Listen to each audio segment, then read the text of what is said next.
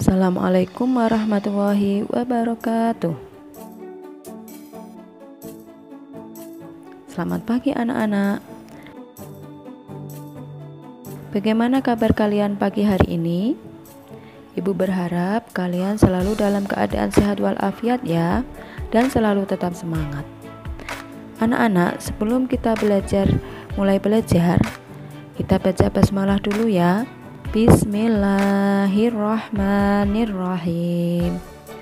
Semoga dengan bacaan basmalah tadi kita bisa belajar dengan lancar.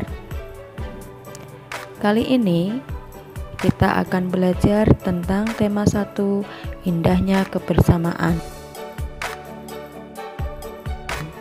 Subtema 2 muatan muatan ilmu pengetahuan sosial tentang keberagaman agama di Indonesia serta perayaan Hari Besar Agama di Indonesia.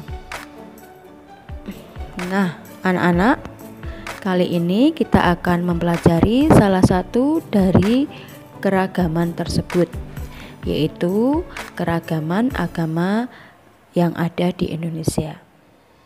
Anak-anak, dikatakan agama itu beragam, tentu ada lebih dari satu agama yang diakui secara resmi di Indonesia. Tahukah kalian ada berapa agama resmi di Indonesia? Iya, ada enam agama yang resmi diakui di Indonesia, yaitu agama Islam, agama Katolik, agama Kristen, agama Buddha, agama Hindu, dan agama Konghucu. Anak-anak, tentunya dari keenam agama ini Masing-masing mempunyai kitab suci, tempat ibadah, dan perayaan hari besar agama antar agama yang satu dengan yang lainnya. Baiklah, mari kita pelajari satu persatu dari masing-masing agama tersebut. Baiklah, yang pertama yaitu agama Islam. Agama Islam mempunyai tempat ibadah yaitu masjid kitab suci agama Islam yaitu Al-Qur'an. Hari rayanya yaitu Idul Fitri. Idul Fitri atau yang disebut dengan lebaran. Biasanya umat Islam sebelum lebaran itu melakukan puasa Roma Ramadan yaitu puasa selama 30 hari. Yang kedua hari raya Idul Adha yang disebut hari raya kurban yang jatuh pada tanggal 10 Dzulhijjah. Yang ketiga yaitu peringatan Maulid Nabi Muhammad Shallallahu alaihi wasallam. Ya. Yang kedua yaitu agama Katolik. Tempat ibadahnya gereja. Nama kitab sucinya yaitu Alkitab. Hari raya agama Katolik yaitu hari raya Natal. Hari Jumat Agung, kenaikan Isa Al-Masih. Yang ketiga yaitu agama Buddha. Tempat ibadah agama Buddha yaitu wihara. Kitab sucinya Tripitaka. Hari besar agama Buddha yaitu Hari Raya Waisak. Hari Raya Waisak ini untuk memperingati lahirnya Siddhartha Gautama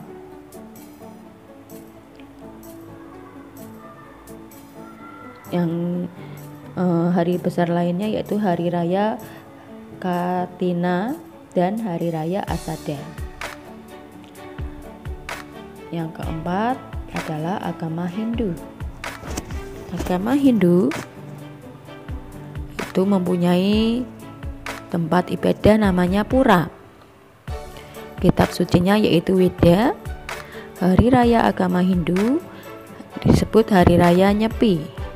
Pagarosi, dan Saraswati. Yang kelima adalah agama Kristen. Agama Kristen mempunyai tempat ibadah yaitu gereja. Tempat ibadah gereja eh, kitab sucinya yaitu Alkitab, hari besarnya yaitu hari raya Natal, kenaikan Isa Al-Masih dan hari Paskah. Anak-anak, Pada dasarnya, agama Kristen dan agama Katolik itu mempunyai tempat ibadah, kitab suci, dan hari raya yang sama. Yang terakhir, agama Konghucu. Agama Konghucu mempunyai tempat ibadah yang disebut kelenteng. Kitab sucinya yaitu Sisu Wuching. Hari rayanya, hari besar agama Konghucu, yaitu tahun baru Imlek dan Cap Gomeh. Itulah tadi uraian tentang keenam agama yang secara resmi diakui di negara ini. Anak-anak, perbedaan itu indah. Perbedaan itu adalah anugerah dari Allah Subhanahu wa taala yang harus kita syukurinya. Begitu pula perbedaan dalam memilih agama bukanlah merupakan penghalang bagi kita untuk menjaga persatuan dan kesatuan bangsa. Dengan sikap toleransi, maka bekerja sama dengan agama yang berbeda itu merupakan modal dasar dalam menjaga kesatuan negara Republik Indonesia. Anak-anak, sekarang kita berikan beberapa contoh sikap saling menghormati dan menghargai perbedaan antar pemeluk agama lainnya. Memberikan izin ketika teman akan melakukan ibadah. Tidak mengganggu teman yang sedang melaksanakan ibadah. Saling mau menghormati antar teman yang berbeda agama.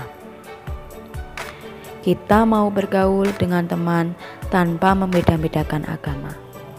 Kita mau membantu teman yang mengalami musibah walaupun berbeda agama.